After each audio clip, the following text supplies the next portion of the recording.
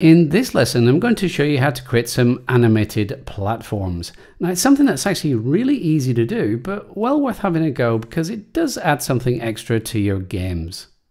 So in front of us, we have a very simple scene.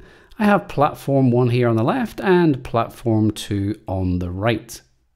And all I need to do is I'm going to select platform one. I'm going to add a child node. I'm going to make this an animation player and create. Now this opens this animation panel down here. I'm going to click on where it says animation and new. Now this is going to be my horizontal animation. And what I want to do here is I'm going to drag this playhead back to zero. I'm going to set the length of my track to four seconds. So where it says one here, I'm going to change that to about, four. You can choose whatever you wish. I'm going to click on platform one again.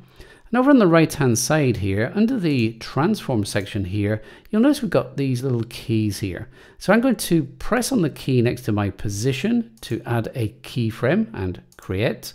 You can see here under platform one, the position, we now have this keyframe. So at zero seconds, my platform is going to be here. Now at four seconds, I also want it to be in the same position. So I'm going to click on the keyframe again. And then at two seconds, I want my platform to be over here somewhere. So with the playhead set at two seconds, in my position here, I'm going to adjust the X position. Let me just try something like 350. And that seems reasonable.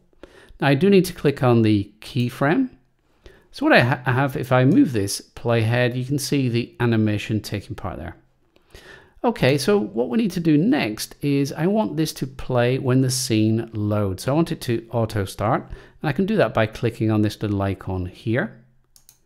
And I also want it to loop, so keep going. And there's this little loop icon here, so I'll click on that. Let's go ahead and play the scene. And here we can see the platform moving left and moving right, and that keeps looping. Now let's have a look at this platform here. I want to make that one move vertically. And hopefully you could probably have a go at this without uh, watching the rest of the video. But let, us go ahead and do it anyway. So in platform 2, add a child node, animation player. Click on animation down here and new. And this one is going to be a vertical animation. Again, I'm going to make sure my playhead is at zero. I'm going to change the time, let's say three or four seconds. Let's go for four again. And now what I want to do is click on platform two and over here in the transform uh, inspection panel here is click on the keyframe and create. So at zero seconds, it's here.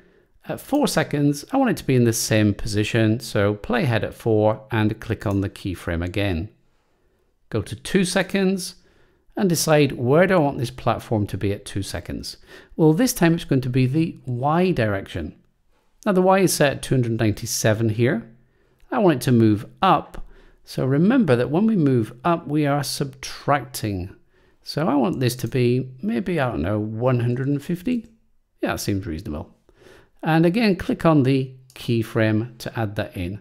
So if we just move the playhead, you can see that animation taking place there. Okay, as before though, we want it to auto start, which is this icon here.